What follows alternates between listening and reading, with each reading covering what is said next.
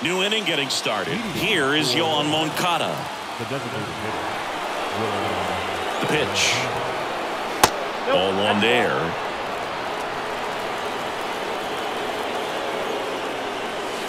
That one finds the corner, and the count even at one. Here comes the pitch. High drive, deep right field, way back there, out of here. He made him pay for that one, and they take the lead. It's 4-3. Here's the catcher to hit, number eight. Your attention, please. Always exciting to see a leadoff home run in an inning. Kind of gets the offense fired up, and you start to expect a big inning.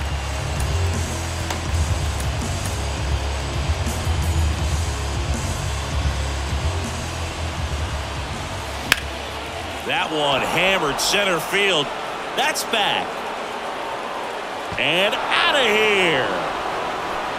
A soaring shot to center. And they add a run. It's 5-3.